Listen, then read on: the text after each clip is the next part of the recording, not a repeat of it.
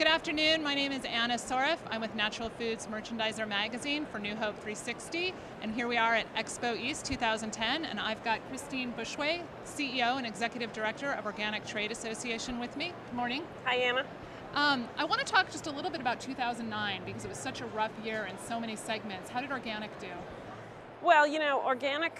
Uh was growing at a rate of about 22% a year for a long time. And um, we had a worldwide recession, and like uh, all things, uh, it certainly got Im impacted. Dropped down to somewhere slightly over 5% growth rate, which is still excellent, so still continued to grow through the recession. And uh, now all the indicators are that it's starting back towards double digit growth again. So okay, yeah, good. So Look, it's I would say that's pretty good, good, news. It's very good news. Yeah, yeah. yeah. We, we have happy uh, happy folks in the organic industry right now. Good. That's yeah. good to hear. Yeah. And speaking of the term organic, can you just talk for a second for our audience about what is organic these days to you and what it means to the OTA? Well, organic actually is um, it's a, it's a complicated production process that um, that farmers follow to um, ensure certain qualities to the consumer. You know, no antibiotics, no pesticides, synthetics, those types of things that the consumer comes to look for when they look at the organic seal. Okay.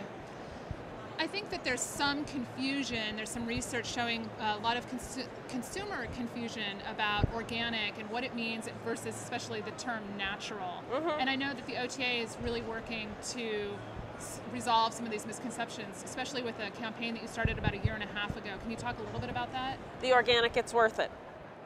Yes, that that campaign has been really important because it's the consumer education aspect of what we do, and we know that, excuse me, we know that um, we constantly have an evolution of consumers coming into the marketplace.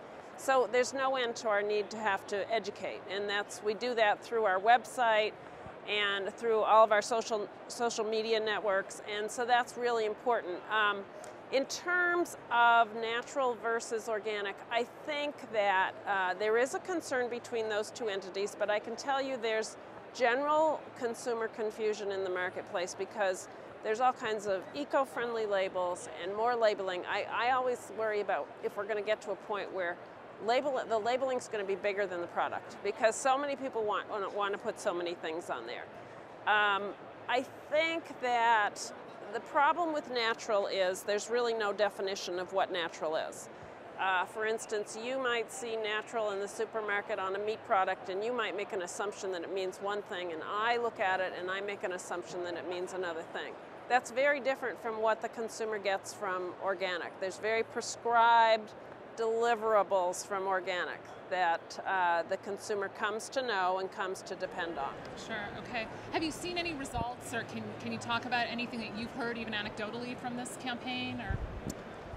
Well, I think, the, I think the most important thing about our campaign is the um, ever increasing number of hits that we get on the website, the ever increasing number of participants on our social media outlets, and um, you know, we just constantly get um, inquiries, particularly from the media, who want more and more information, all of which tells you that their readership and their listeners and their viewers are wanting more information. Okay, good. And one last question. Um, there's some talk that, you know, at the Organic Summit yesterday and just generally speaking, about sort of following in the Dairy Association's footsteps of you know the Got Milk campaign, yep. where if you are maybe maybe you know more about this. Yeah, so can yeah. you just talk a little bit about that? Well, the the industry is in the preliminary stages of looking at what's known as a research and promotion order. It's a, there's about 18 federal such orders, and you're familiar, as you mentioned, Got Milk, the Incredible Edible Egg, the other white meat. There's a whole bunch of them, and they've been very successful in um, impacting consumption of commodities.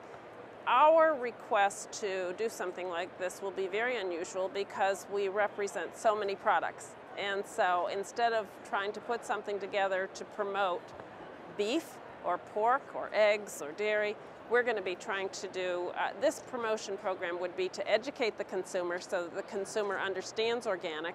And uh, there's a tremendous amount of real excitement about that because they think that can make a real change in the future of the industry. Okay, well, Christine Bushway, thank you very much for your time. Thank you, Anna. Good to be with you.